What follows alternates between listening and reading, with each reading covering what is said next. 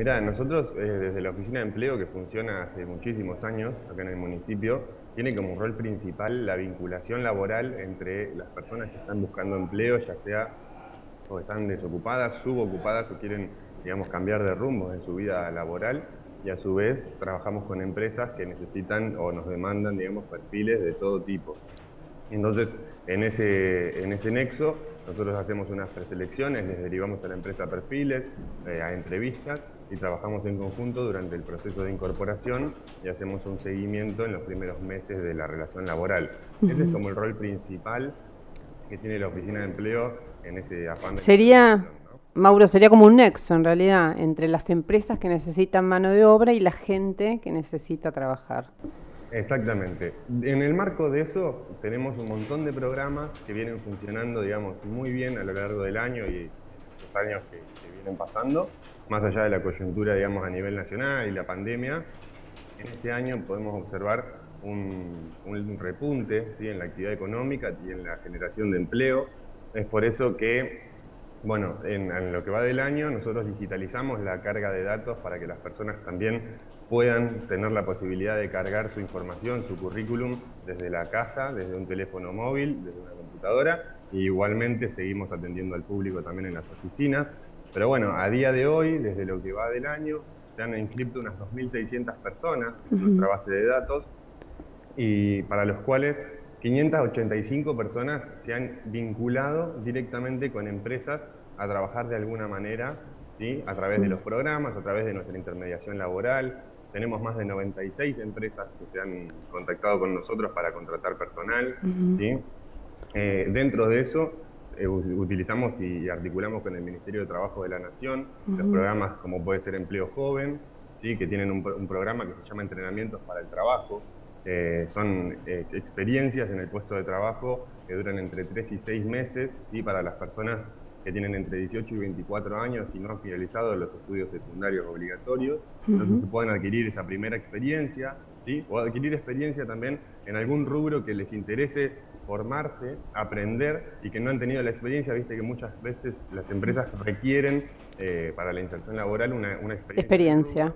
Mm. Claro, bueno, este es un mecanismo donde a través de ayudas y beneficios económicos se les da la oportunidad a estas personas que se puedan formar y que puedan adquirir esta experiencia en el puesto de trabajo durante un periodo determinado para una posterior inserción laboral registrada, ¿no? Entonces, bueno, estos beneficios económicos, digamos que aporta tanto el Estado Nacional como el Municipal con un programa propio también, lo hemos extendido, eh, eh, antes era de 16 a 30 años, y ahora, bueno, al, observar que hay personas que, ya sea por la pandemia, que han cerrado empresas, eh, se han quedado sin trabajo, que son más grandes, hemos extendido el rango etario hasta 60 años, entonces, bueno, también ha tenido un gran impacto en lo que venimos acompañando eh, a las empresas que contratan, fomentando la contratación de personas de, todo tipo de edades, ¿no? En ese afán, eh, bueno, la cantidad de dinero, digamos, en efectivo que se ha eh, inyectado a través del Estado Nacional y Municipal en el territorio de Tandila lo en lo que va del año, asciende a unos 10 millones y medio de pesos a través de las gestiones de la Oficina de Empleo. Eh, Mauro, ¿y entendés que la gente ya está como al tanto y conociendo, digamos, eh, todo el campo, digamos, de acción que tiene la oficina de empleo o todavía cuesta que se acerquen y lo tienen como una dependencia más que nada para tramitar ayudas? Bueno, es, algo ambiguo, ¿no?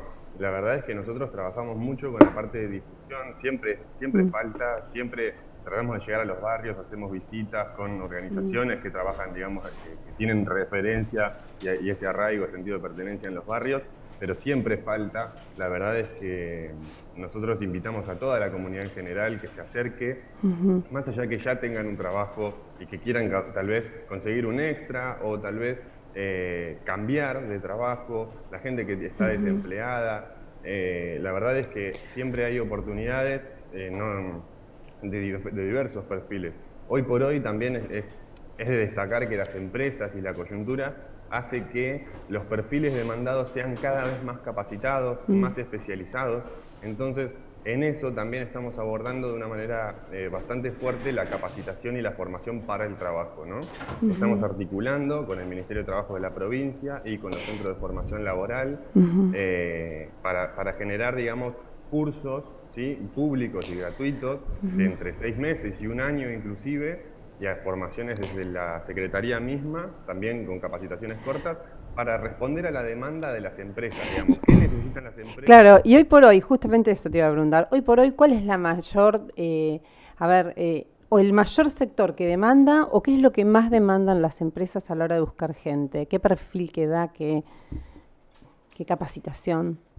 Bueno, eh, mira, todo lo que tiene que ver con tecnología es clave y ya está súper, digamos, eh, difundido, ¿no? Que, las empresas, pero no solo, quiero destacar que no es solo la programación del software, digamos, la tecnología en su sentido amplio.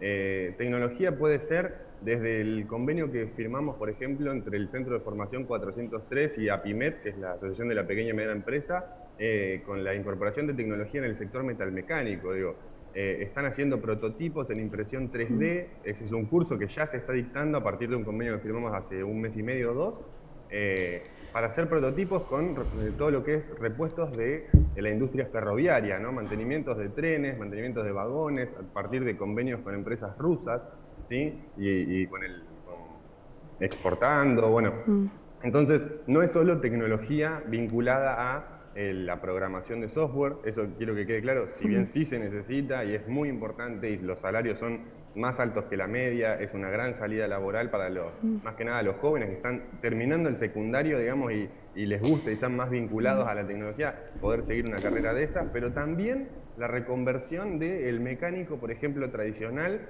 eh, a mecánico de maquinarias agrícolas.